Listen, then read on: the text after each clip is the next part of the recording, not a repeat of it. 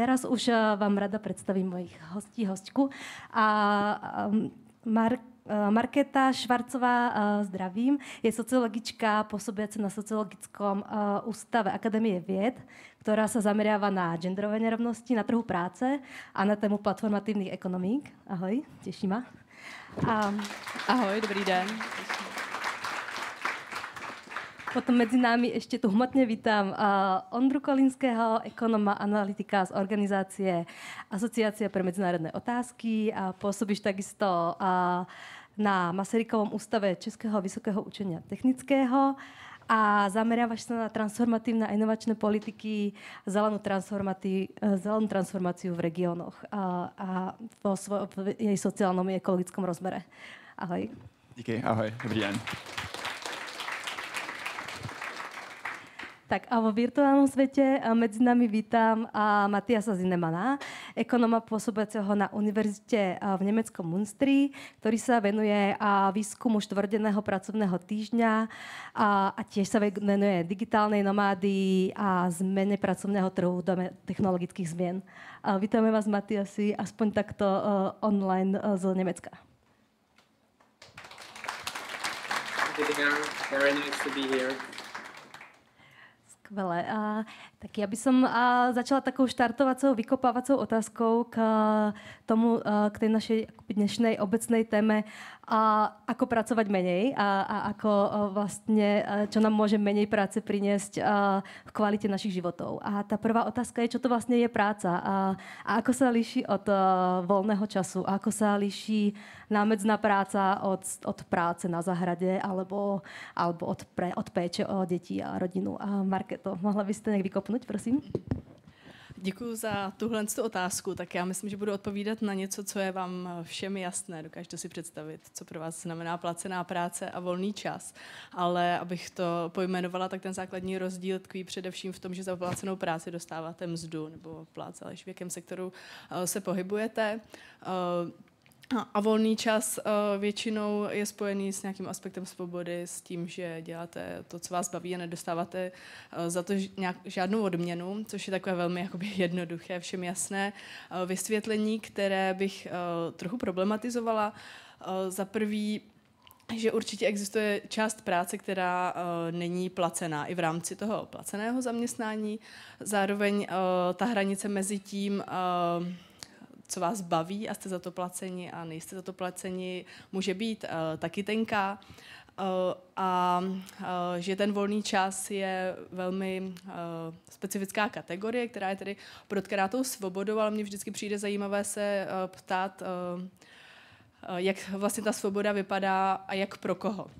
A to mě přivádí k vlastně dalšímu uh, další takové kategorii, která jako nebyla úplně pojmenovaná a to je uh, vlastně neplacená práce, uh, což uh, uh, vlastně já jsem socioložka genderu, takže já budu celou tu debatu sem vnášet nějaké genderové nerovnosti, tak vlastně ten gender v tomhle tom směru působí tak, že ovlivňuje tu možnost nebo tu kapacitu, kterou máme na ten volný čas celosvětově v rámci rodin, protože jako existují samozřejmě různorodá uspořádání, ale prostě rodina je v západním světě pořád nějaký kulturní ideál podpořený souborem státních politik, tak v rámci těch kultur pořád přetrvává genderově podmíněná dělba práce. Ve stručnosti to znamená, že dě, ženy uh, tráví neplacenou prací více než muži. Celosvětově je to asi 3,2 krát. Uh, abych vám to přiblížila uh, konkrétně třeba v nějakém časovém srovnání, o čem se tady bavíme, tak uh, třeba ve Spojených státech mezi nějakými 60. a 90. lety se počet hodin, který ženy tráví domácími pracemi, prakticky vůbec nesnížil nebo nezměnil. Rozdíly tedy najdeme vlastně úplně všude, i v takové jakoby genderově, genderové mece ve Skandinávii. I tam ženy tráví neplacenou prací v domácnosti více času, což samozřejmě má potom jakoby dopad na ten volný čas. K tomu jsem se chtěla dostat, že ten jejich volný čas tedy je jiný, jak kvantitativně, že na něj mají prostě méně času, ale i kvalitativně a to celé se děje na pozadí toho, že uh, ženy tráví stále více času uh, placenou prací, že stoupá zaměstnanost žen. V tomhle tom směru od těch 60. let my vidíme veliký nárůst, ale už se jim vlastně neumenčuje uh, ten počet hodin, který musí trávit vlastně těmi, tou, tou reprodukční, reprodukční prací. A když jsem mluvila o těch uh, kvalitativních rozdílech, uh, tak uh, i ten volný čas pro ženy uh, vypadá trochu méně, nejenom tedy, že ho mají méně, tak i uh, vlastně je, mé, je více třeba narušovaný, jo, jako hodně se hovoří o takovém tom jakoby multipla, multitaskingu, což může být, to asi není jako předmětem dnešní debaty, ale do určité míry nějaká chiméra. Uh, a je samozřejmě přerušovaný potom, když se bavíme konkrétně o těch rodinných uspořádáních, když třeba už eh, ty ženy mají, nebo eh, v těch rodinách eh, jsou děti, tak povětšinou, především třeba v českém prostředí, ta péče o ty děti leží na těch bedrech žen. Takže nevím, jestli to stačí jakoby pro začátek, rovnou jsem tam nesla tu genderovou rovinu, ale jak jsem říkala, to budu dělat počas celé dnešní diskuze. Díky. A Ondro, ty sa hodně venuješ i nějaké pozrastové společnosti. Aká je vlastně nějaká představa a práce v takéto budoucnosti, kde už nie je tato společnost tak velmi viazaná na ekonomický rast a, je tam povedzme viac priestoru pre nějaké jiné typy prací? Jasně. Uh, no my si často představujeme, že ta námezní práce, tak jak ji máme dneska, takže existovala vždycky a že, že, to, že to takhle prostě bylo, že to je nějaký přírodní fenomén skoro až, ale uh, právě postrustová perspektiva se hodně věnuje tomu uh, zrodu modernity a tomu velkému nárůstu uh, vlastně námezní práce a tomu, jak lidi, kteří uh, z velké části se zabývali uh, buď prací v domácnosti nebo na vlastním poli nebo sběrem nějakých plodin třeba v přírodě nebo lovem, uh, tak najednou, uh, najednou začali vlastně pracovat, najednou, uh, najednou začali prodávat ten svůj čas za práci. Uh, má to samozřejmě souvislosti uh, i s tím, uh, jaký jsou ty vztahy na pracovišti, což je, což je další postrůstová kritika, uh, že nejde samozřejmě jenom o, tom, o to, že něco udělám a dostanu za to zaplaceno, ale že jsem třeba podřízený uh, nějakému rozhodování, který nemám úplně ve svých rukách někdy se mluví až o tom, že vlastně většinu času trávíme v, tady v tom autoritářském uh, režimu uh, té práce, kde vlastně buď to děláme, co se nám řekne, nebo můžeme jít uh, někam jinam. Že? To znamená, uh, ta postrůstová kritika uh, se hodně zaměřuje na to, že nepotřebujeme možná úplně zrušit práci, ale že můžeme výrazně změnit ty její podmínky a můžeme, můžeme dělat podmínky pro to, aby ta práce jednak probíhala víc demokraticky, jednak byla svobodnější z pohledu těch zaměstnaných a jednak k ní byly třeba nějaké větší alternativy, nebo, nebo opravdu nehrozilo, že pokud, pokud si neudržíte nějakou práci, ve které vám třeba není dobře, tak končíte na ulici, protože se nebudete moc dovolit nájem. Díky. A o nějakých ještě různých politikách, jako vyvažovat trochu lepší pracovný čas námedzný a, a další typy práce, tak se ještě budeme bavit trochu neskôr. A, ale Matiasi, a ako vy vnímáte a, rozdiel medzi voľným časom a prácou a možno už môžete a, rovno povedať trochu viac o a, vašom výskume štvordenného pracovného týždňa, a, či to odhaluje nejaké a, nové vzorce toho, ako ľudia trávia, a, trávia voľný čas, a, keď majú menej práce v práci.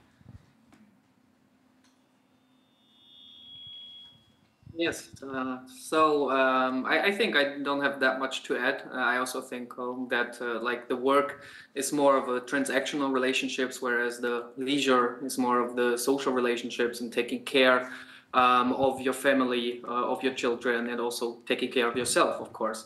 Um, so here uh, we actually observe because like the need or uh, actually the wish to have a more balance between work and life um, is growing. Um, so we actually conducted a study, a German-wide study, where we um, guided 45 organizations within Germany that introduced a four-day work week. Um, so in the first place, we see that actually organizations are also willed to introduce less work time or to introduce uh, more flexible work times.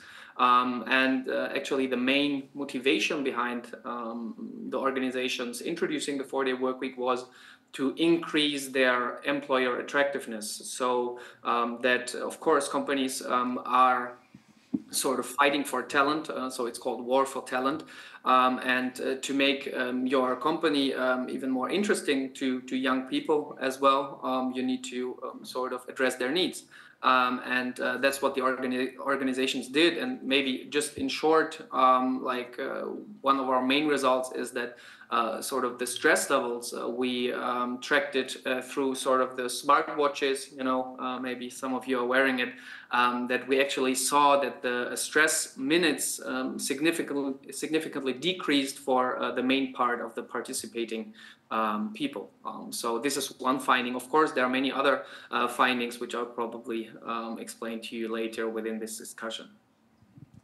Díky. A ja sa možno ešte spýtam, a takou jednou z častých kritík štvordňového pracovného týždňa je, že a ľudia, ktorí pracujú menej, tak namiesto toho, aby vlastne sa venovali potom nejakému seberozvoji alebo péči alebo nejakým ekologickým komunitným aktivitám, tak skôr majú väčšiu tendenciu utrácať alebo nejakým uh, technológiám, ktoré vlastne nejakým spôsobom neprispievajú uh, ich rozvoja alebo rozvoju komunít.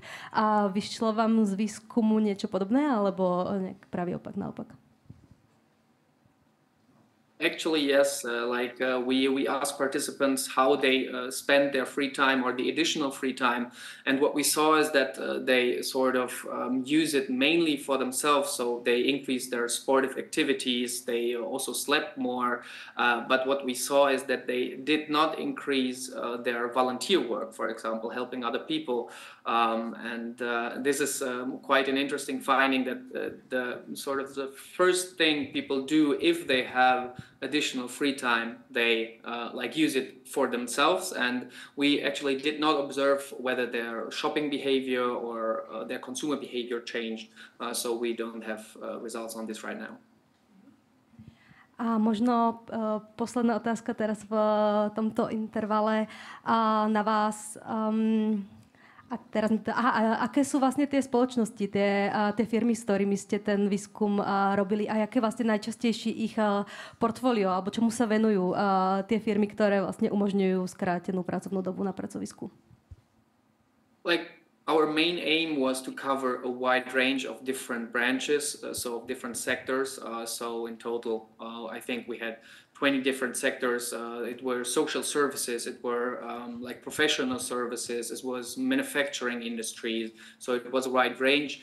Um, here we are currently in the analysis, but what we saw is that actually it's less of the uh, sector that defines how the work week actually uh, is uh, approachable, but it's more about the organizational size that we see. If uh, like large organizations, for example, try to implement it, it's way more complex uh, as compared to smaller organizations. So if smaller organizations attempted it, um, they had to sort of restructure less, uh, and it was sort of less complex. Yeah. A Markéto, a čo vy hovoríte, alebo čo ty hovoríš na štvornový pracovný týždeň i z pohľadu toho, ako je vlastne možné ho adaptovať na rôzne obory, pečující a, podobne. Myslíš si, že by to mohlo fungovať pri nejakej genderovej vyváženosti na trhu práce alebo na pracoviskách?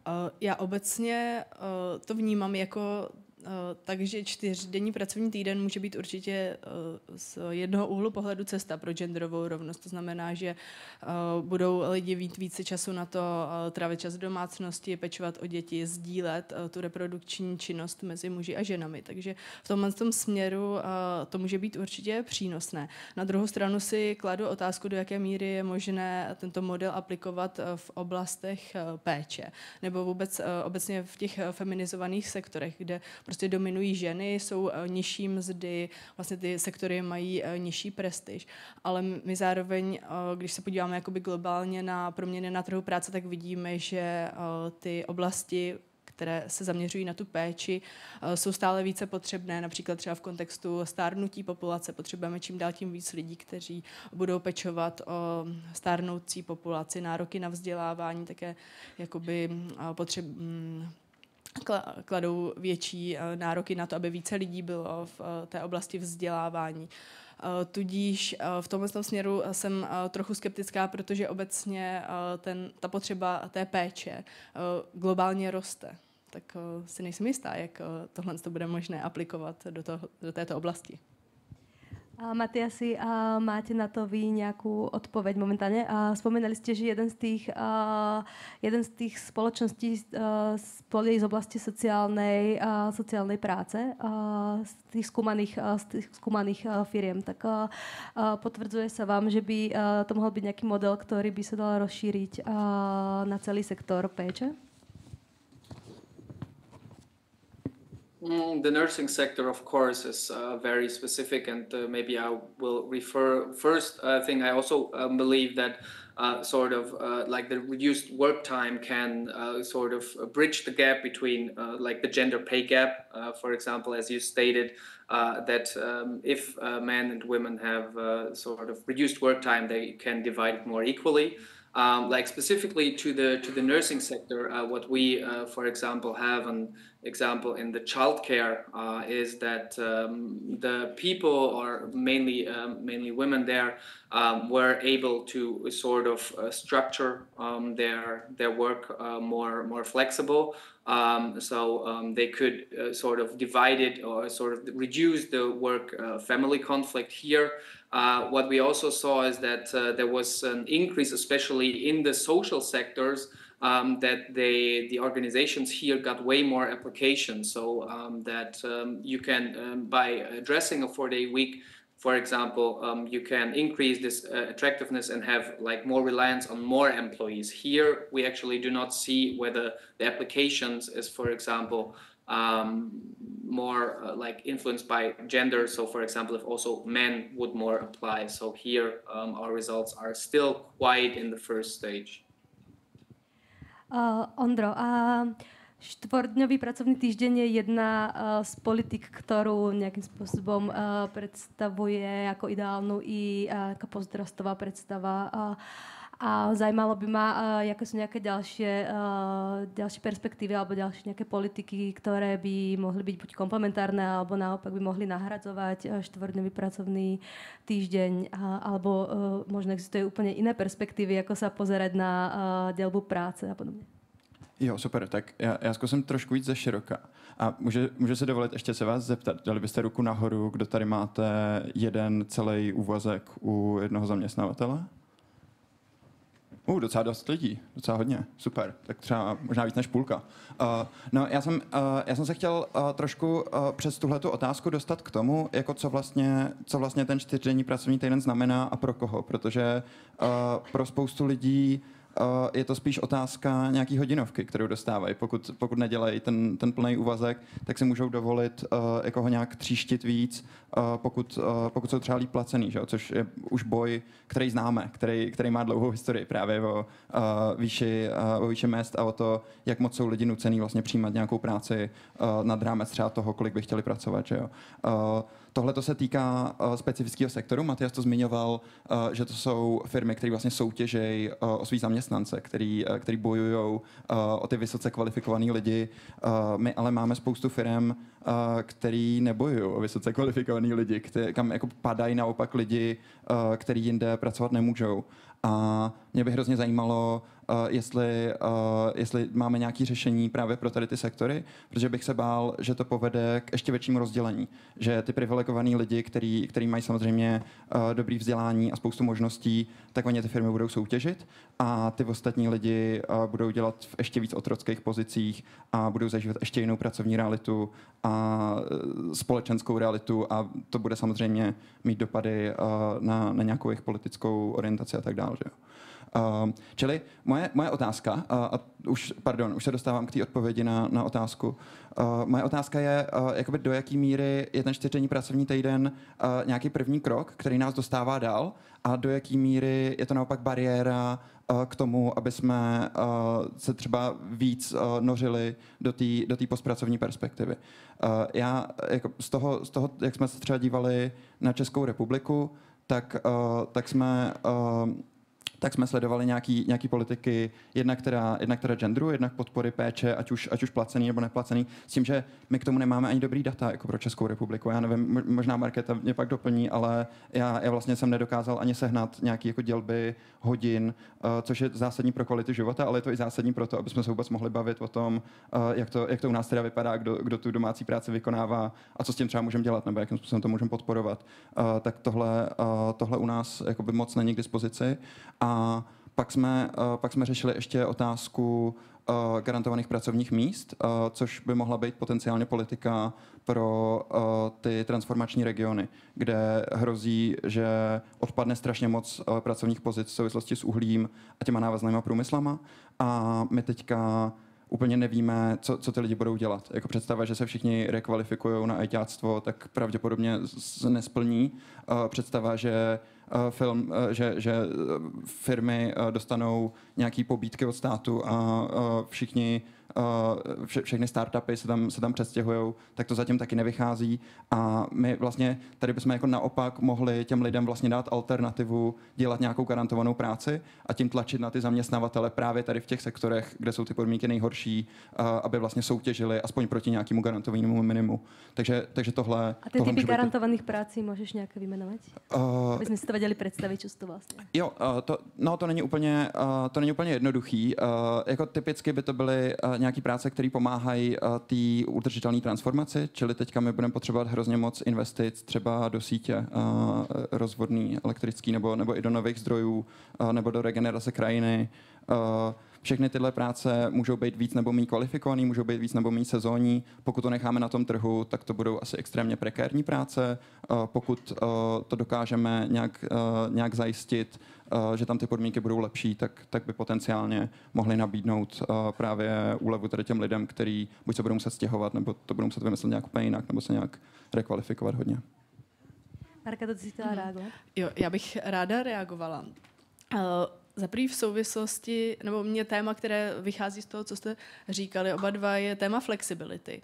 A vlastně přesně jak jsi říkal, eh, bavme se tady i o lidech, kteří eh, pracují prostě v továrnách na směný provoz. Jak jim můžeme nabídnout flexibilitu? Myslím si, že to jako ještě není realita imaginace českých zaměstnavatelů, ale jsou jako vlašťovky. Eh, já jsem se teď nedávno v rámci jednoho jednání o tom bavila na Ministerstvu práce a sociálních věcí a existuje nějaká výzva na diverzitní kulturu, která směřuje i do tady těch, řekněme, prostě továren jednoduše. A jsou i nástroje a snaží se tam zavádět, jak třeba, eh, a mě to přišlo ohromně zajímavé, jakoby sdílet místo, které je na směný provoz. Takže si myslím, že to může být eh, cesta, jak tu flexibilitu přinášet i prostě eh, do těch regionů, do tady těch typů pozic. A zároveň jsem ale taky chtěla upozornit na to, že ta flexibilita zní jako skvěle. Všichni chceme flexibilitu, všichni chceme pracovat, kdy chceme, kdy si to jakoby zvolíme. Jenomže pro ty, především pak právě pro ty ženy, které jsou zatížené druhou směnou, může být ta flexibilita docela pást, protože když si představíte prostě realitu třeba matky uh, od malých dětí v českém prostředí, tak uh, ta prostě tu flexibilitu potřebuje, protože nemůže prakticky, bych řekla, tak minimálně do 6 let věku dítěte nastoupit na plný úvazek, protože prostě ty školky nejsou tak otevřené, vůbec jakoby nemluvím o dostupnosti institucí péče dětí do dvou let, to prostě je úplně jakoby nemyslitelné. A to jí tedy vede k tomu, že ona už tu flexibilitu prostě dávno jakoby hledá. A nehledá úplně abych pravdu řekla, si myslím, jako zaměstnavatele, na, který nabízí čtyřdenní pracovní týden, protože to prostě jakoby nic moc nevyřeší. A hledá tu flexibilitu, jak eh, prostě pracovat přesně, kdy potřebuje, kdy může. My máme třeba výzkum, že prostě ty ženy potom často začínají podnikat, protože je to prostě jediná možnost, eh, co můžou co můžou dělat, ale ta flexibilita potom z dlouhodobého hlediska znamená trochu pást, potom se jakoby těžko dělá ten krok do, toho, do toho jakoby full-time jobu, kde prostě sedíte 8 hodin, jo, nějakou dobu tam prostě jedete, nějakou dobu obědváte, tak prostě s, v souvislosti jako zase s nějakým diskursem intenzivního mateřství, kde se jakoby v českém prostředí klade velký tlak na tu péči a na tu výchovu o ty děti, je vlastně, to vlastně má potom na ty ženy jakoby dlouhodobé dopady, jakoby jak můžou potom potom růst v tom zaměstnání. Potom to má dopady i jakoby na jejich uh, výše penzí. A uh, tak uh, tím jsem prostě chtěla trochu rozbít tady tu jakoby ideální představu toho, že flexibilita je jako vše, vše. Díky. A Matiasi, mohl byste nějak komentovat to, co tu už hovoril uh, Ondro, uh, ako vlastně podle vašich výzkumů, podle vašeho výzkumu uh, čtvrtdňového pracovného týždňa uh, sa ta osa triedy prejavuje uh, na tom, uh, kdo sa akým způsobem zapája uh, do, uh, do tohto projektu alebo do tohto konceptu čtvrtdňového pracovného týždňa. Uh, vidíme tam nějaké vzorce uh, toho, že vlastně ľudia, ktorí majú nižšie príjmy, pracujú treba v továrňách a, a na nižších vlastně pozíciách mají ťažší přístup k štvrtdovému pracovnému týždňu?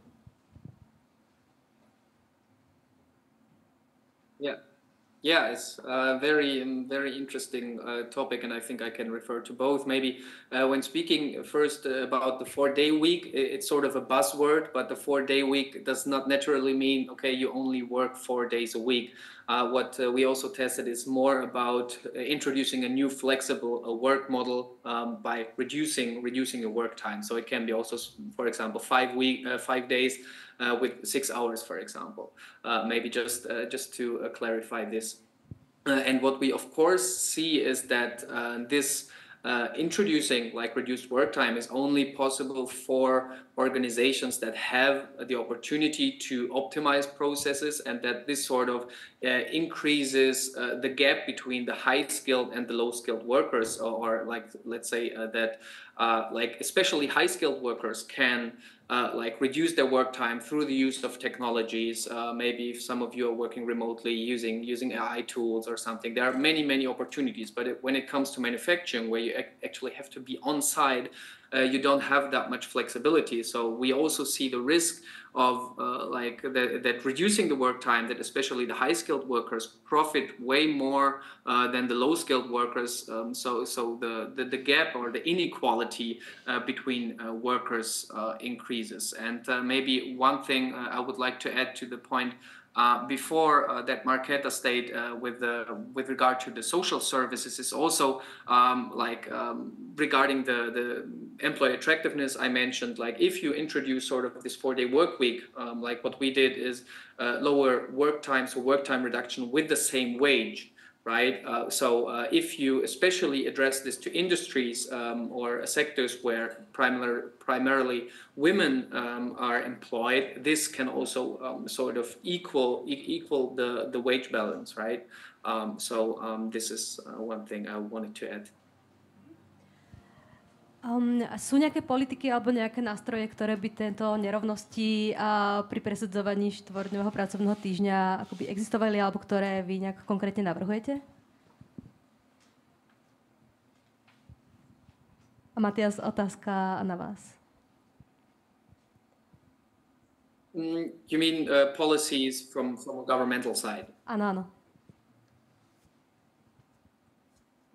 Um, right now is like uh, it's a it's sort of a, an early stage um, trial. So uh, of course there is no one uh, one size fits all uh, regulation that uh, governments can state. Okay, um, you have to introduce reduced reduced work time. Um, so it's more about um, sort of that the organizations take charge. Um, it's like um, in our study as well. Uh, it was like an like an, a volunteer sort of uh, that organizations wanted to try this project, but we don't have um, sort of policies um, that uh, would uh, sort of um, help to integrate it. Díky. A Marketa, vy se venujete i platformové ekonomike a, a digitalizaci práce. Může digitalizace práce znamenat zkracování pracovní doby? Uh, to je dobrá otázka. Já asi dokážu odpovědět jenom uh, částečně, protože já se konkrétně zabývám prací pro digitální platformy.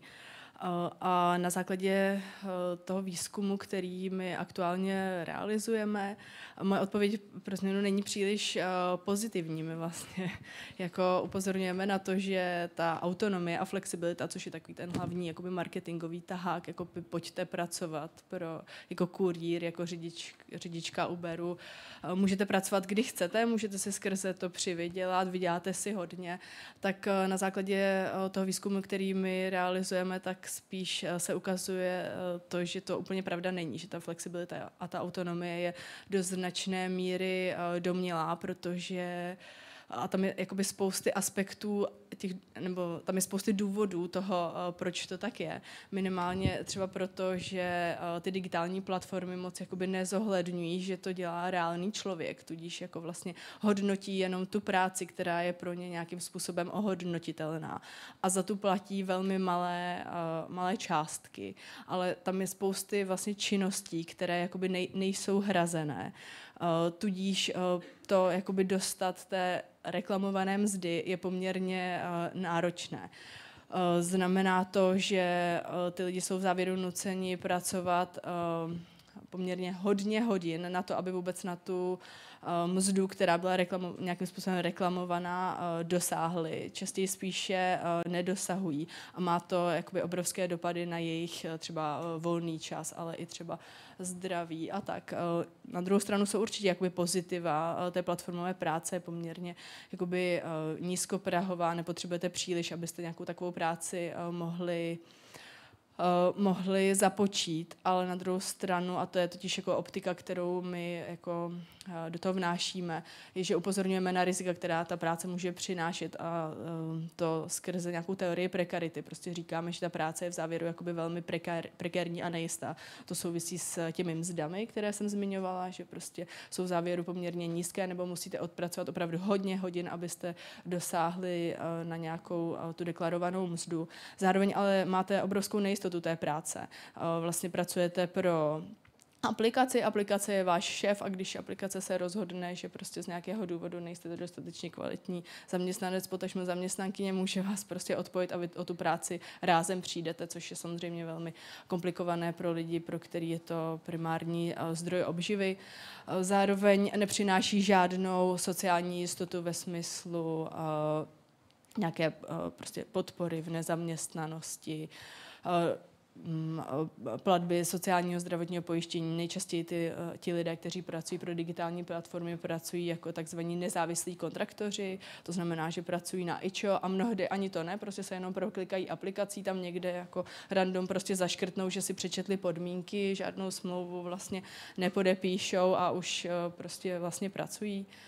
Uh, No a to, to nám všechno vlastně přijde, že poukazuje na to, že ty výhody, které ta práce může přinášet, jsou prakti- prakticky, nechci říct zanedbatelné, určitě pro někoho jakoby to cesta je, ale právě potom důležité klást si otázku pro koho. A to zase je mě tam eh, přivádí té genderové konotaci.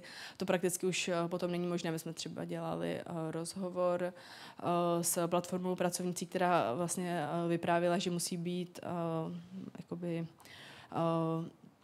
pro tu aplikaci nějakým způsobem jakoby přítomná nebo celá ta práce jí zabere 17 hodin. Tak uh, si představte, že máte 17-hodinovou pracovní dobu a doma na vás uh, čekají děti. Mezi tím musíte dělat prostě tu reprodukční práci, musíte uh, si vyprát uh, ty dvě trička, které dostanete od toho zaměstnavatele a musíte v nich prostě pořád to jídlo jakoby rozvážit a máte jenom dvě. A teď si jakoby je musíte vyprat po těch 17 hodinách.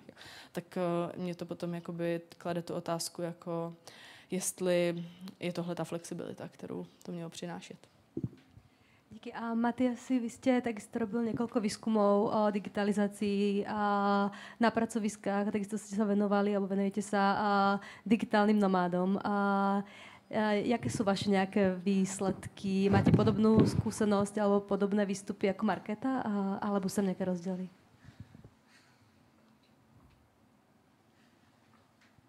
Yes, so uh, here uh, I actually uh, did uh, quite some studies and interviews with digital nomads, as you stated. So these are also mainly platform workers, freelancers, entrepreneurs.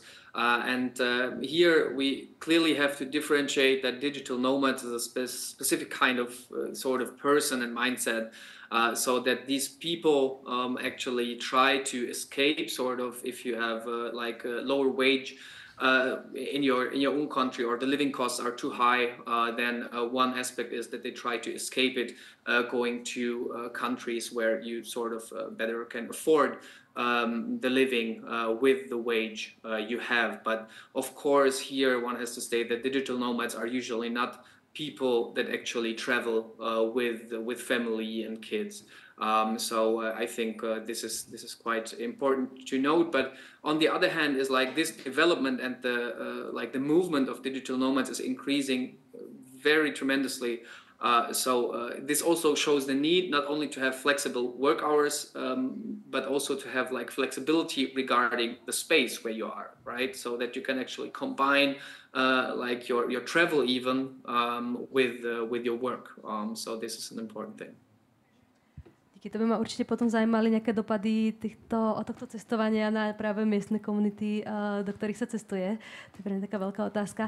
Uh, ale Ondro, uh, jaká je pre teba nejaká um, predstava digitálnych technológií práve v nejakom post, pozdrastovej budúcnosti? A myslíš si, alebo jaké by mohlo byť ich miesto a čo je naopak na nich problematické? Já nevím. Um, jakoby to, to, co je, to, co je asi důležité říct uh, v té postrůstové budoucnosti, je, že není Uh, nebo i postpráce obecně, že není představa, že, že někdo to tady nadizajnuje a pojede to podle, podle nějakého mustru, co si vymyslíme, ale spíše snaha demokratizovat ty procesy. To, co je, to, co je problém digitálních technologií, zaznívalo to tady i v předchozím panelu, bude to tady uh, i večer říkat uh, Hester se Srníčkem, eh, protože to je to jádro, že ty technologie jsou extrémně netransparentní, rozhoduje o nich velmi malá skupina lidí, která navíc ještě je docela homogenní, vždycky, vždycky to jsou nějaký, nějaký muži v relativně úzký uh, jako věkový kategorii uh, s relativně podobným vzděláním. A Uh, to, je, to je z mýho pohledu problém. A je to problém samozřejmě i z pohledu nějaký, uh, nějaký udržitelný transformace, protože my tu transformaci potřebujeme uh, nějak líp prodiskutovat a potřebujeme, aby líp odpovídala na potřeby všech. A ve chvíli, uh, kdy to řekněme, zlepšuje život uh, nějakýmu, nějaký úzký skupině lidí, která se živí jako digitální nomádstvo a zhoršuje život uh, lidem, uh, který třeba pracují v Amazonu a jsou tam pod uh, jako permanentním dohledem a nemůžou, nemůžou si odskočit, tak, uh, tak to je společensky hrozný průšvih. A my, my tohle potřebujeme nějak zmírňovat a pravděpodobně to teda bude transparentnění, pravděpodobně to bude, že lidi, lidi budou mít větší slovo v tom rozhodování, jak ty, jak ty procesy fungují, na co jsou optimalizovaný a jaký do nich vstupují vůbec, vůbec jako otázky a v ideálním případě samozřejmě i ten stát by tam, by tam hrál nějakou pozitivní roli uh, s tím, že by zase přinášel uh, perspektivu těch různých skupin uh, do té regulace nebo, nebo vůbec uh, nebo vůbec jako otvíral tady, tady tu arénu jako diskuzní uh, pro ně. Můžu reagovat, uh Jo, já určitě souhlasím, že právě přesně ty digitální uh, platformy nebo uh, vůbec ty platformy mají takový punc jakoby neutrality, ale já si myslím, že je to taková technooptimistická chiméra, že vlastně jsou jakoby nějakým způsobem neutrální, tudíž jako třeba nemohou diskriminovat, to prostě na tom, uh, v tom klasickém zaměstnaneckém poměru můžete nějaké diskriminaci čelit. A já bych ráda jakoby tuhle tu chiméru trochu rozbila, protože přesně jakoby těm algoritmům ty kódy, já tomu teda jakoby nerozumím, ale tomu prakticky nerozumím moc lidí, protože do těch střev prostě nikdo ne, nevidí, je to nějaké obchodní tajemství. A tady ten punc té neutrality jako je, tomu dává nějakou jakoby nedosažitelnost, ale já si myslím, že to je absolutně nereálné, protože vlastně to, ty platformy nebo prostě ty algoritmy se učí na těch reálných procesech a někdo je učí na těch reálných datech a ty data už jsou zatížena vlastně tím, tím biasem, tě, tou, tou diskriminací,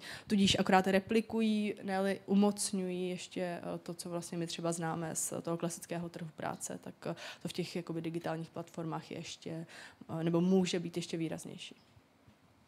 A mňa ešte napadá jeden dôležitý aspekt, keď hovoríme či už o digitalizácii práce, alebo i vlastne o štvrtňovom pracovnom týždni, tak je vlastne nejaký, nejaké dopady na uh, ekologickú krízu a klimatickú krízu.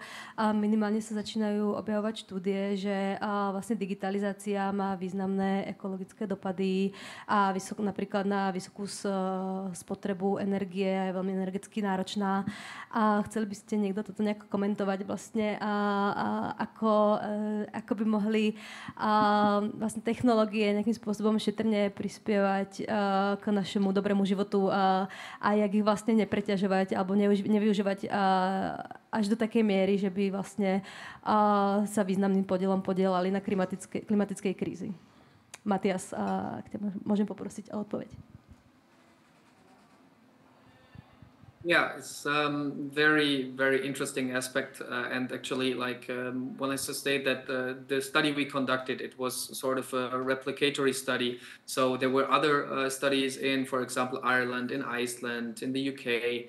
Um, they also introduced the four-day work week, and um, they actually uh, stated that uh, like this introduction of reduced work hours can benefit uh, the environment um, through, for example, less commuting time, so that people actually through this uh, less work time, uh, they travel less to the workplace, but also through flexible work hours or digital technologies, um, they they simply can sort of stay more um, at home. Um, we uh, did not find this effect, so actually uh, we found a sort of um, like an adverse effect that people actually increase their um, sort of domestic trips. That uh, of course, if you have more free time, if you, for example, imagine you have have uh, three days off weekend, right? Uh, then you maybe start traveling even more. Um, so to explore because you want to see new places. Uh, and this is actually what we found that there is um, not an not a highly um, like negative effect on the on the environment, but definitely um, no positive in our results right now. Okay, a Ondra, chceš na to nějak reagovat? Jo, uh... Jo, já s, tím, já s tímhle souhlasím, že jakoby, my nemůžeme od žádné politiky očekávat, že uh, začne řešit tu klimatickou krizi. My potřebujeme nějaký souběh politik nebo nějaký balíček, protože to, kde se dneska nacházíme, tak ta polikrize je skutečná. My jako jsme přepracovaní, uh, máme nedostatečné uh, zabezpečení prostě základních potřeb. Uh, pokud bydlíte ve velkém městě, tak asi víte, že, že většinu prostě peněz, co dostanete v práci, tak dá to za nájem. Uh, a současně všechno tohle je neudržitelné. My bychom mohli samozřejmě uh, míň lidem platit, takže by méně spotřebovávali a tím by se to vyřešilo, ale tím by se ještě zhoršily ty ostatní věci. My bychom mohli dát lidem víc volného času, ale tím by se přesně zhoršilo to, že oni by teda víc uh, dělali ty environmentálně neudržitelné věci v tom svém volném čase. Pokud jim prodloužíte víkend, tak budou víc jezdit někam na víkend. Že? To, je, to je logický, to, to bez toho nejde.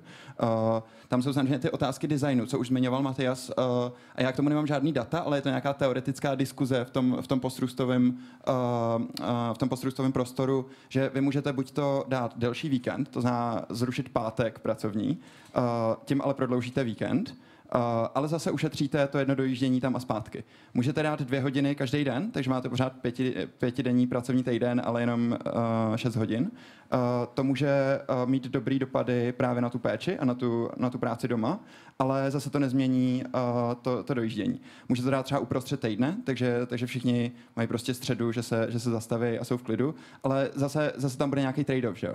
A přesně, přesně tohle je ta otázka, jak designovat ty politiky. My nemůžeme čekat, že čtyření pracovní týden nebo, nebo garantovaný pracovní místa nebo jakákoliv jiná jako jedna politika, nebo třeba uh, nepodmíněný základní příjem se často uvádí jako, jako taková stříbrná kulka, která, která vyřeší všechny ty naše problémy. Možná jo, my jako nevíme samozřejmě, ty, to by se muselo vyzkoušet v nějakém větším rozsahu, ale pravděpodobně to nebude stačit. Pravděpodobně to potřebujeme nějak kombinovat. To znamená, bychom potřebovali uh, líp zajistit základní potřeby lidí, my bychom potřebovali snížit tu, tu prekaritu a tu, uh, tu tíseň, ve který, ve který se spousta lidí nachází, ale současně uh, bychom potřebovali um, jakoby snížit, uh, kolik, uh, kolik peněz lidi vynakládají na neudržitelné věci. A neudržitelný je dneska prakticky všechno. Uh, každá, každá práce, kterou my děláme, tak je, tak je neslučitelná s nějakou uhlíkovou neutralitou, kterou tady chceme za uh, 25 let mít to není problém jako nás a těch našich prací, to je, to je problém systémový, společenský. A my buď to, uh, to dokážeme řešit nějak jako společně v nějakých souvislostech a dokážeme to dekarbonizovat nebo dokážeme snížit ty environmentální dopady, nebo, nebo nevyřešíme nic, ale jenom, jenom pohybovat se v tom, tak budu víc pracovat, budu, budu si víc užívat, budu víc lalkovat. Jako lalkovat je dobrý, ale většina z nás si to, si to nemůže dovolit, že jo? Prostě jenom uh, den třeba strávit tím, že někde sedíme a koukáme prostě z okna, že jo? A ešte mám na, potom taký ako pocit, že, že aj keby sme sa my tu na západe naučili lelkovať, a, tak dosť pravdepodobne to bude znamenať, že a, niekde v zemích globálneho jihu sa k lelkovaniu vlastne nikdy a ľudia nedostanú, pretože pokiaľ nezničíme ako našu spotrebu, tak, a, tak pravdepodobne v tých továrniach niekde niekto pracovať bude musieť vždy. A, tak, já bych to možná takto pesimisticky... Chceš reagovat? Už ještě jenom drobnou věc, jakože zase, když řekneme snížit spotřebu, to jako nikdo nemá v našich vlastních rukách. My, my, můžeme, my můžeme méně lítat letadlem a můžeme jíst méně masa, ale jako nevyřešíme tím ten systémový problém. Jakože my tu, my tu spotřebu potřebujeme snížit nějak celospolečensky a nějak systémově a současně neohrozit uh, lidi, který, který pak třeba nebudou mít co jíst. Čo? Ja, díky za ten komentár. A, tak ja by som túto časť možno otázok uh, odo mňa uh, uzavrela, pretože už sa naplnil trochu náš časový rámec. Ale naopak otvorila by som teraz otázky uh, od vás, publika, takže pokiaľ uh, by ste sa chceli niečo našich hostí, hostky spýtať, tak prosím, stačí zdvihnúť ruku a myslím, že mikrofon sa k vám dostane nejakým spôsobom. Vidím tu rovno uprostred hlásiť sa uh, človeka. Je to tak? Ja. Dobrý den. Slyšíte mě? Tak mám dvě dotazy. První je z uh, pohledy kapitalistický systém. Proč jsou nejvíc korporáty a tak. Dneska na home office už nechtějí, pracují jako ajťák, tak jsme nejvíc lidí, kteří typicky pracujeme takhle online a je to normální, ale jako stejně už chtějí, aby lidi uh, vrátili do, do kanclu, tak jak by to bylo toho čtyři dny, uh, jako pracovní týden, což jako taky zkušel, ale jako si nebudu podporovat. To je první věc. Druhý věc je, jestli řešíme čtyři dny, uh, tak jestli budeme vzít pátek nebo středa volno, což lidi typicky stresují nejvíc na uh, jako hlavní město nebo tak, tak nestíhají papír nebo tak, tak na 6 hodin by to bylo lépe, ale myslím si, legislativa vždycky bude potřeba co je, co by, když zvýšili počet uh, práce na dobrovolné práce, na nějaký, nevím, neziskovky a tak, a že firmy měly platit ty lidi za ty dobrovolné práce. By to fungovalo? By podporovalo víc uh, na čtyřdní pracovní den? Nebo Teraz neviem, či je to otázka spíš, myslím, že Matias alebo Ondro by mohli reagovať. Uh, neviem, ktorý skôr by chcel. Opäť je nejaká kombinácie prostě čtvrtdňového pracovného týždňa a respektíve a nahradiť čtvrtdňový pracovný týždeň naopak nejakou dobrovoľnou práci, ktorú by vlastne platila ta firma uh, čiastočne. To znamená, ten jeden den uh, té práce by se nahradil dobrovolničením místo, místo práce, chápu to dobře?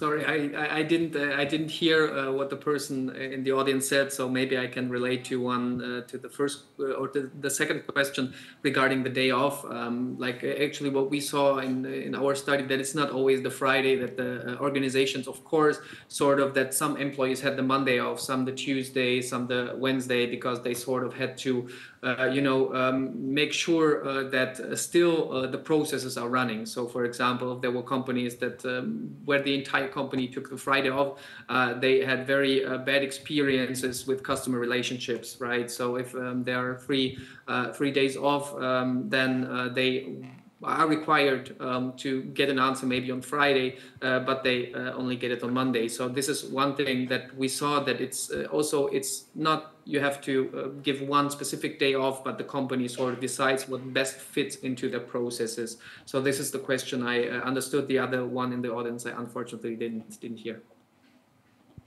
Uh, jo, já, já ještě přemýšlím právě nad tím, uh, nad tou možností vlastně dobrovolně šet místo práce. Mm, jako mně to přijde zajímavý, ale vidím tam určitý riziko, no. Vidím tam, vidím tam přesně riziko toho, že, že vlastně říkáme, že to je volný den, ale není to volný den a chceme po těch lidech, aby něco dělali, ale můžou si třeba vybrat, co budou dělat. Mají třeba tady několik možností, že jo? Ano, je, je to není, reálně není volný den, ale víc lidí můžou dělat, co mají rady, což by to dělali stejně, jako když bude tři dny nebo tak. Ale jako řešíme toho, že necestují a nedělají dobrovolné věci, co Matias to, uh, přesně řekl. Ale jako řešíme tu problém, že nejsou lidi, kteří dělají věci, budou dělat, co mají rady, ale jako dobrovolně. Tak uh, a, co, a jako typicky lidi cítí lépe, když a, mají tu možnost, ale jako hlavně, že jsou placený nebo stát nějak podporuje to. Protože bez legislativy tak korporátský systém tak nikdy nebude podporovat eh, čtyři dny jen tak. Jo, možná je to nějaký mezikrok, tak v ideálním stavu by samozřejmě všichni dělali to, co mají rádi a byli za to placený, že jo? A to je to, kam se asi chcem dostat a možná by to mohlo fungovat jako nějaká cesta k tomu, no. Tak další Pardon, já bych asi ještě jenom reagovala na tu první otázku týkající se toho home officeu, protože to mě nějaký přijde zajímavý v covidu. My jsme vlastně tak jako viděli, že spousty míst najednou je home officeovatelných a, a tak jsme si říkali, fajn, to by mohlo jakoby přispět tomu třeba sdílení té péče. Tak uh, myslím si, že jo, jako nějaký progresivní zaměstnavatelé, především typicky třeba v IT sektoru, tak tam u toho jakoby zůstali, protože přesně viděli, že na tom jako ušetří náklady. Ale spousty, eh, nebo velká část trhu práce se vrátila prostě k původnímu nastavení.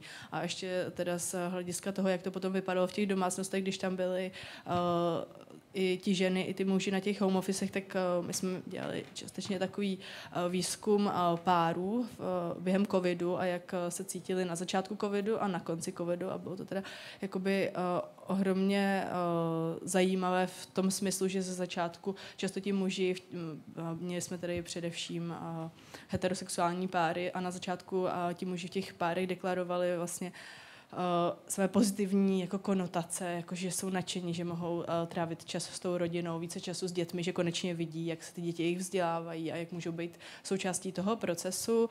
Uh, ženy jako tak říkali, fajn, tak jsme víc jako spolu. A když jsme potom dělali po roce a půl s nima vlastně skoro stejné rozhovory, tak jsme našli absolutně vyčerpané ženy, které prostě se modlily za to, aby už otevřely ty školy. Prostě, ať tam ty děti klidně sedí s těma rouškama. Hlavně, ať už prostě jdou do té školy protože pro ně to prostě často znamenalo, když měli to štěstí a mohli nějak jako tu svoji práci home office to, že ji dělali v noci protože přes den byly jako ty suplující učitelky.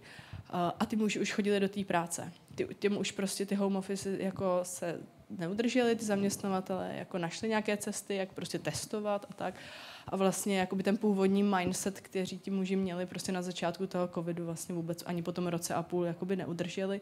A potom ještě bych jenom v rychlosti pozdílela, a to už není jakoby náš výzkum, a to je ten, že když vlastně eh, se srovná to, jakým typům činností se věnují muži a ženy během home officeu, tak se vlastně ukazuje, že ty ženy jakoby častěji uh, kloubí tu placenou práci s tou reprodukční činností, že prostě během toho, co vyřídí e-maily, jako dají tu pračku a tak. A uh, ti muži, myslím na mě takový, jako, takovou kategorii vlastního pokoje, tak vlastně pracují ještě víc pracují ještě víc, než kdyby byli v té práci, protože se třeba nepovídají. Jako to samozřejmě taková stereotypní představa, ale doopravdy jako to byla jedna z interpretací a prostě jsou zavřeni někde v těch svých jako když mají to štěstí a mají tu svoji pracovnu anebo v ložnici a vlastně pracují jako ještě nad rámec těch pracovních hodin, co by strávili v, te, v tom placeném zaměstnání. Díky. A hlásila se tam osoba v žlutém svetri vzadu? Dobrý den, já bych to chtěla stočit zase trošku k tomu genderu, respektive k nějaké té rovnoprávnosti a čtyřdenní pracovní době, protože jsem měla možnost vlastně jakoby to zažít. Já sama jsem teda pět let buď na rodičáku nebo na mateřské, teďka jsem už jakoby OSVČ, ale manžel byl uh, zaměstnaný, ne, původně jakoby na pět, pak na čtyři a nám to velmi umožnilo, abych, aby ten jako jeden den, který jsme vyčlenili, teda pátek, který to byl, tak nebyl vlastně jakoby v práci, a tu práci já jsem věděla, že ten den si můžu naplánovat třeba někam jakoby jet na schůzku a podobně, tak to je jeden jakoby aspekt, že prostě to, že jeden člověk nebo jeden z těch partnerů v té rodině má ten zkrácený, tak umožňuje trošku víc i tomu druhému vlastně jakoby si plánovat třeba do toho času tu práci, protože tam předá ty děti, to je jeden aspekt. A vlastně druhý aspekt jako vnímám, když se to pak otočilo a museli jsme zpátky nastolit jakoby pět dnů v vozovkách jeden péče na full time a druhý pět dnů, tak jsem uh, i naznala, jak to vlastně zase zpátky docela jako na, narušuje ty vztahy i v té rodině, protože narůstá nervozita ohledně toho, když byl ten jeden den, tak člověk viděl, že se to jakoby vyčlení, že tím vykryje ledas, co třeba i nemoci nebo prostě něco.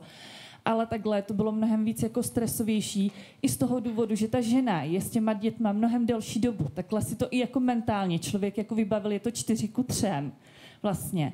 A ještě možná jako další věc, jako v regionech, jako ve městech, jako Praha, Brno a podobně, protože původně jsou z Brna, ale přestěhovaná na Vysočinu, tak to je podle mě ještě jakoby další aspekt, protože třeba v těch regionech ty lidi jezdí za prací mnohem dál, to znamená, že tak ono je to i jako suburbia, jo, ale uh, že prostě ten jeden z těch rodičů třeba dojíždí a opravdu z té práce dojede až jakoby večer a ta primární péče, ať už je to teda na otci nebo na matce, je jako mnohem vlastně v průběhu toho dne delší. A když je ten kratší časový, uh, nebo když je ten čtyřdenní pracovní týden, tak ten člověk to tak nějak jako víc překoná a ví, že ten další den třeba ty děti předá a mentálně si může zase jako odpočinout.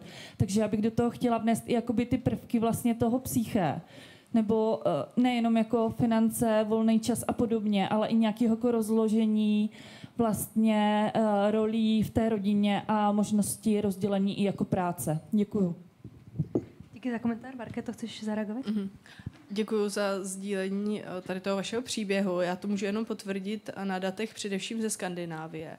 Eh, které se teda netýkají eh, nějakého stlačeného pracovního týdne, ale spíše nějakých nástrojů pro sladování, které potvrzují eh, to, co jste říkala, že vlastně, když se vlastně ty role jakoby switchnou, že prostě částečně pracuje muž a částečně pracuje žena, tak to má potom jakoby pozitivnější, nebo částečně oba pečují a částečně oba pra, pracují, tak to má potom pozitivní dopady vlastně jakoby na ten jejich vzájemný vztah, protože vlastně jsou schopni oba navnímat jakoby tu realitu, jaké to je, když prostě jste celý den v práci a potom přijdete a musíte hnedka pečovat, anebo jaké to je prostě celý den non-stop pečovat.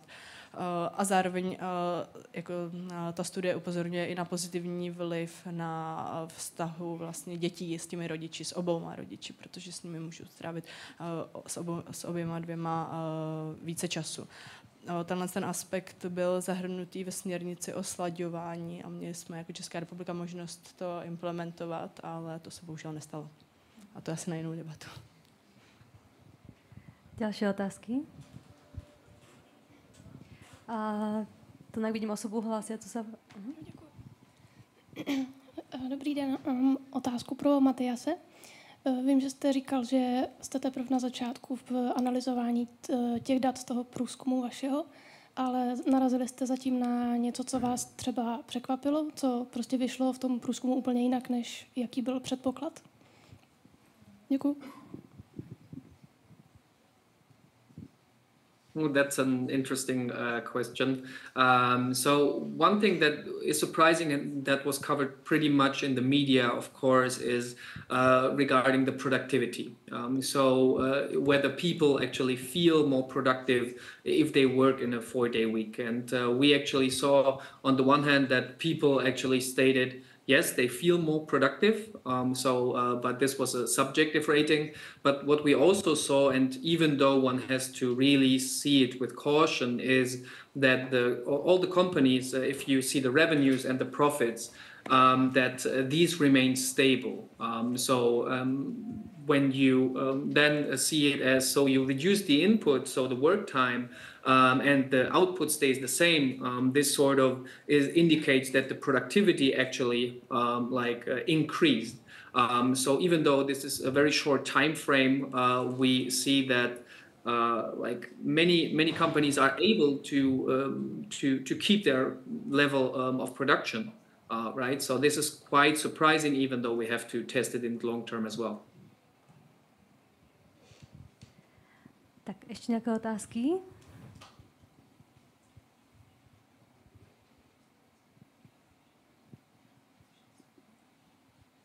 Maybe if I can just jump in because there was one question uh, before regarding um, the uh, question um, of uh, whether one parent uh, has a four-day week, and I this gave me a thought uh, that we might observe how it is if you actually, for example, have a relationship where both parents have a four-day week, meaning that maybe one part of the parent even has Monday off, the other one has Friday off. This would even more increase this possibility to combine uh, family and work. Um, so um, I think we will we will definitely dive into this uh, in more detail in the future.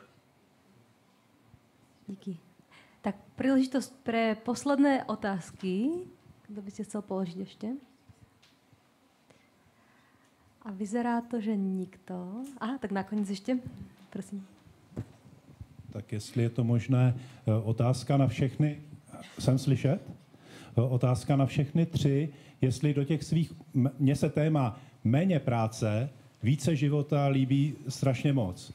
Limitně to znamená nula práce, hodně života. Ale jestli do těch svých úvah um, zahrnujete i ten ekonomický aspekt. Někdo musí naplnit státní rozpočet a postavit z toho cesty. A taky je tady otázka třeba konkurenceschopnosti. Byl tady zmíněn jich. Jo? Tak jestli do, do těch svých úvah zahrnujete i tady ten ekonomický aspekt celé záležitosti. Děkuji moc.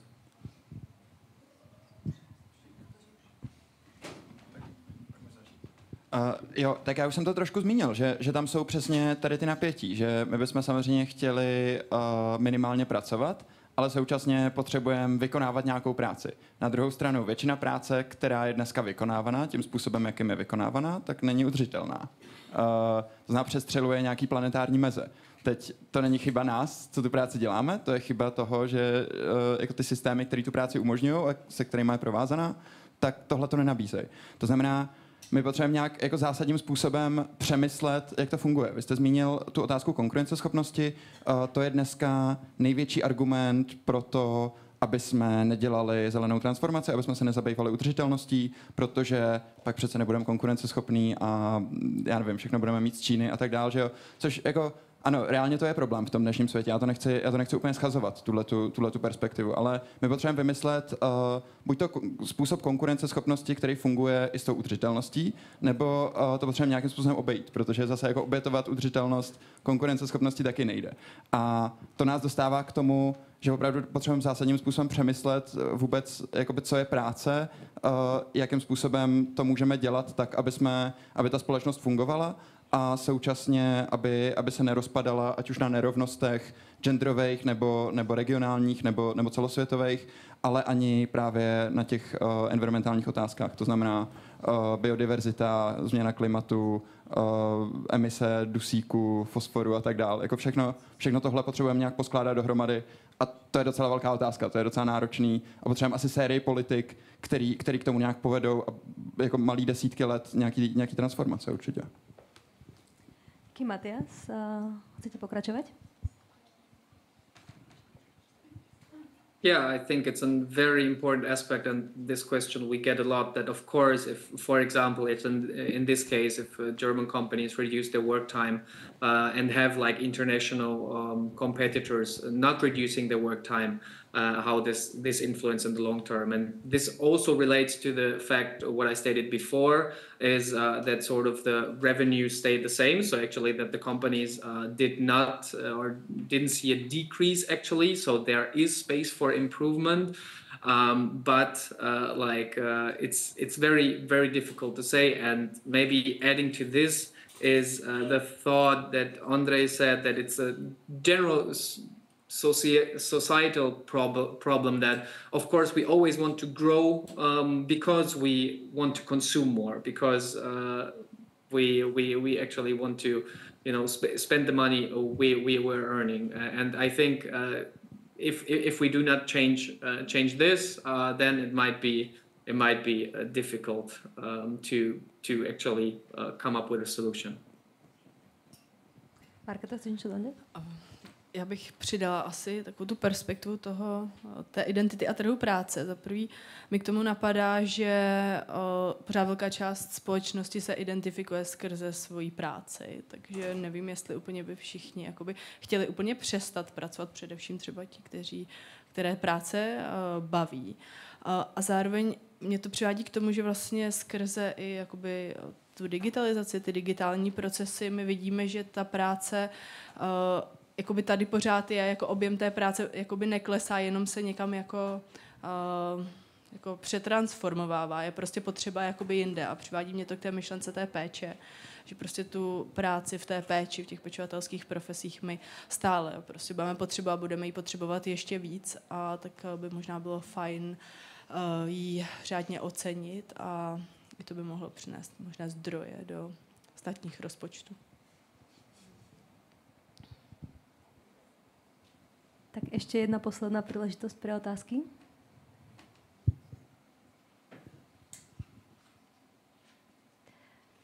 Katka?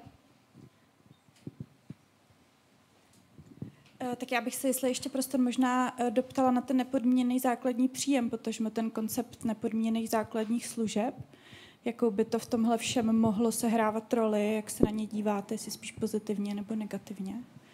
Děkuju. Možná otázka najprv na Ondřeje a potom možná i Matias, případně Marketa. Dobře, děkuji, děkuji za tu otázku. Uh, no to je hrozně zajímavá diskuze právě mezi tím příjmem a těma službama.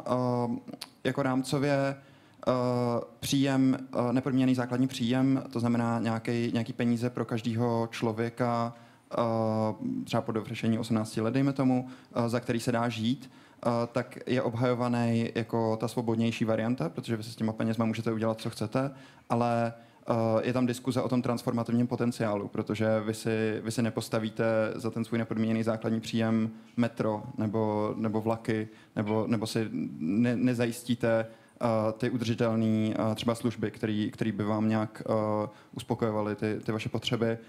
Naopak ta otázka těch nepodmíněných základních služeb má tenhle ten příslip, že uh, by tam byly nějaký minimální kritéria, uh, jakým způsobem lidi participují na tom jejich designu nebo, nebo na tom vůbec vymýšlení, rozhodování, co je potřeba, co, co ještě má být základní služba, uh, do jaký míry má být třeba přístupná všem bezplatně.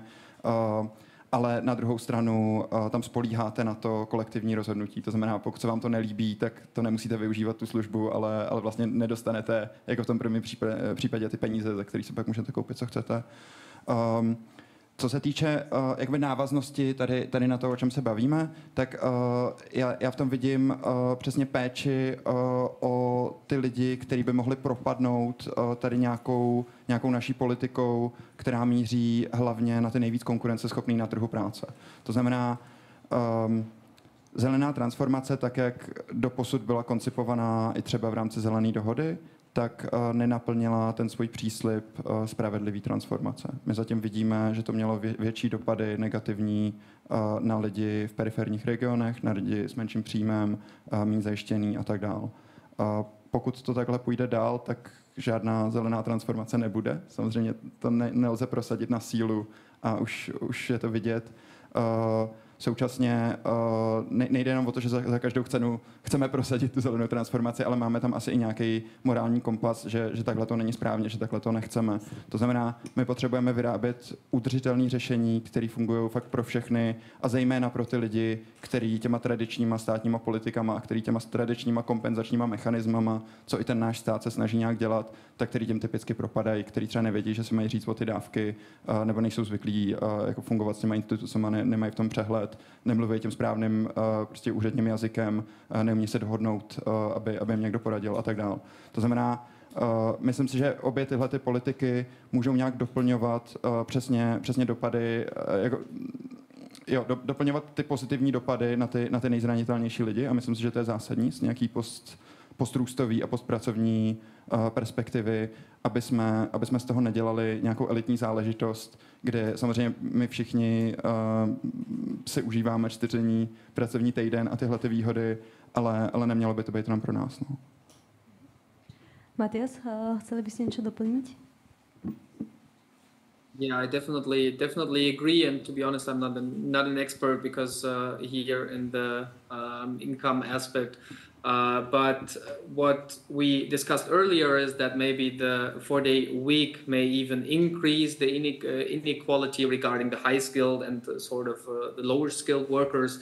Uh, but um, that uh, if you have sort of the um, the same income, this might might be a possibility, sort of, to balance balance it even for for, for sort of the let's say disadvantaged um, workers. But um, yeah, to be honest, I'm I'm quite uncertain uh, how how to actually combine these two concepts right now. Díky, Marketo, chceš něco dodat? Díky. Tak, to vyzerá, že byla posledná otázka, pokud se tu ještě nezačne nějaká ruka zdvíhat teraz za posledné. A, tak ještě, ještě, ještě přece jen jedna ruka. Úplně vľavo, díky.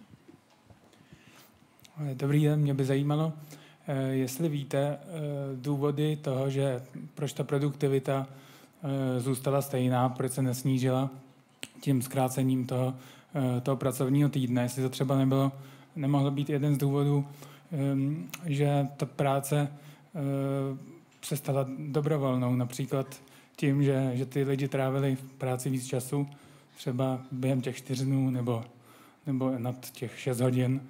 Eh, takže vlastně předpokládám, že práce, noční práce se nezměnilo, takže by buď museli nabrat nové zaměstnance, anebo prostě zajímá mě ty důvody. To je asi otázka na Matiase. Ano. Mm, yes, uh, so I uh, think like or at least what many many people stated um, also in the interviews in the study uh, that uh, like maybe also some of you in the audience can emphasize with it um, if you actually have the uh, sort of the motivation that you get a free day more leisure time this is quite quite a huge uh, huge incentive to also optimize your work processes that there's always um, sort of space for optimization using for example digital technologies um, using or reducing like meeting culture or you know like everyone knows the feeling of that uh, you have 10 meetings a week and maybe only two or three were necessary. Uh, and uh, like this uh, was quite often stated that people actually, for example, increased the focus time, that they really had had time where they only worked for themselves, that they really optimized the meeting culture, that they used or implemented even more technological tools. Um, so um, here uh, we cannot state that uh, people actually sort of uh, even even worked more. We saw a significant decrease in the working hours, um, but they managed to get the same work done, and um, this was quite um, throughout um, many, many participants. Díky. Tak a já myslím, že je čas poděkovat za tuto debatu a děkujem hostem a hostke, že a se do ní zapojili a že nám přinesli hodně zajímavé perspektivy a Marketě, Ondřejovi a Matiasovi a díky.